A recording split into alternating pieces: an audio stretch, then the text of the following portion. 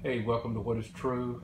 This is Dennis Carrow. I'm the host of What is True each Lord's Day, and we have a special little segment here for our YouTube channel, and also we'll be broadcasting the clip on the What is True TV program as we try to dig a little deeper into God's Word and investigate our struggle with recurring sin, the battle with addiction and we have a very special guest, someone who's willing to come in and sit down and tell us a story. Uh, the one unique thing about addiction and addiction recovery is, you know, the word addiction is to give your voice to something else, and addiction recovery is about getting your voice back.